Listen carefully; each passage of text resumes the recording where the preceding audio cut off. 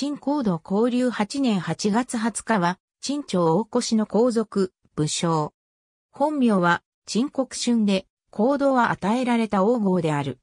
著作に、兵書要略、万公衆秘伝書などの兵書がある。チャンフンダオ像安政、王陳流の子として生まれる。陳朝の初代皇帝、大宗の老いにあたる。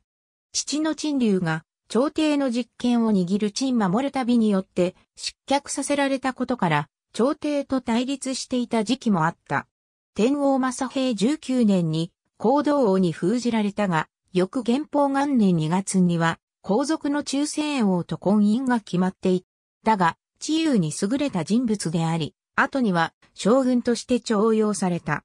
元宝7年にモンゴル軍が侵攻してきた時も大越軍を率いてモンゴル軍を大いに破り、逆に追撃するまでの対象を収めた。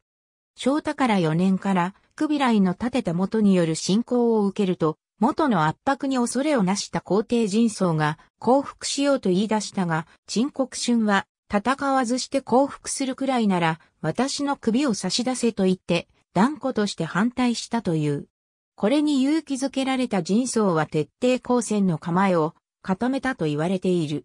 陳国春は大越軍の総司令官に任じられ、巧みなゲリラ戦を繰り広げて元軍に対象した。翌正太から5年10月には、国交、節制統領殿下諸軍に任じられた。また、二度目の元軍による大越侵入の直前、悟る諸秘書劇文を書き、進むの世譲るなど古の勇者の例を挙げて、元に対抗すべく軍人の士気を高めるのに尽力した。朝廷には秋文王陳妃など外交に長けた人材がおり、また元軍が大越とチャンパを同時に攻撃するに、方面作戦を取ったため、大越は、チャンパ王、ジャヤシンハバルマン三世と長年の遺恨を解消して、共同戦線を張り、ゲリラ戦を展開した。重教4年、大越軍とチャンパ軍双方のゲリラ戦に悩まされた元軍はついに撤退を開始した。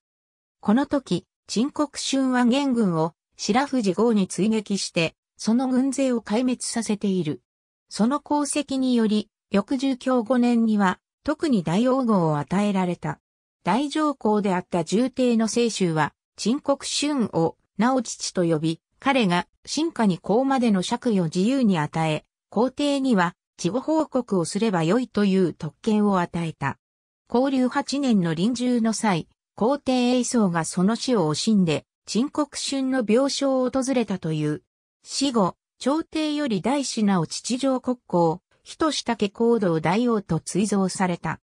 最大の名誉を失ったジャヤシンハバルマン三世は、交流14年に、英宗の妹の現陳公主と政略結婚をして改善された対越関係の維持を図ったが、翌交流15年に、ジャヤシンハバルマン三世自身も急死し、疑心に駆られた大越、チャンパ両国は再び泥沼の構想に突入した。ありがとうございます。